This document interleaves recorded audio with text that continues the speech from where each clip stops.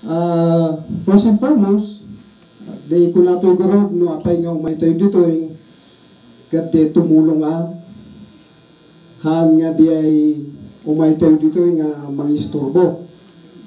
Kat natatek sa Saudi dito sa ano, ay kat di ko nato yung respeto basit. Ito na malpas di sa Saudi ay sa kay tumut umay nga sa o. Kasalamat lang nga iti eskwilaan. Nga no ti teacher. At sa sao kat daghan nagiti estudyante.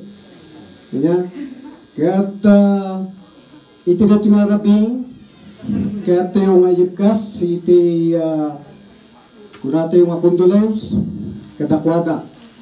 Ato, iti kalman, iti kalman ko lang nga namuan na ito. At siputa, uh, iti paspasturan to, may sa ka open nga church, iti pasag iti sabkil. Kat uh, in-invite tayo ni Kapsat nga Edward Fulayang Karusan nga umay nga agshare ijay ko nato yung nga kabarbaro nga iglesia nga linukatan tayo. Kat sa ko nga naman idi uh, inbagana nga natuya ito nga pastor, ama, kapsat, uno uncle, kat napanan.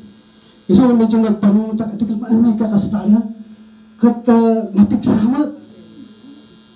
Awan mat iti makita nga kaslang uh, saksakitin na iti. I mean, no sabat kami kat makita kat physically fit iso na. Nga ma, iso nga nabigla di kalman kunak ni. Apay nga. So ako nakliman sige, ah, umaya ko si kalman therapy nga medyo nadadagol na kat uh, rumapide yung sang sambot ko nga in simpadyalugan tatlo lang